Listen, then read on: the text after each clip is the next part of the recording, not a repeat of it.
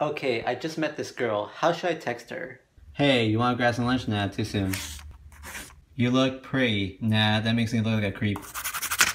Have you seen My Hero Academia? Nah, that makes me look like a nerd. Which clearly I am. Ah, this is so hard. It's like walking through a minefield. Alright, just gotta try harder. Are you from Tennessee? No. Are you single? Nah, too desperate. Where do you live? Do I want to call the cops? Ah, I'm getting nowhere. I should just get my master's in rocket science, cause that seems easier than texting someone. I got it.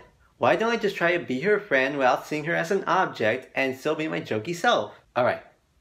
Hey, you want to hear a joke? And send. Alright, I think I finally learned how to text a girl. Oh, a new message. Let me check that. And she blocked me.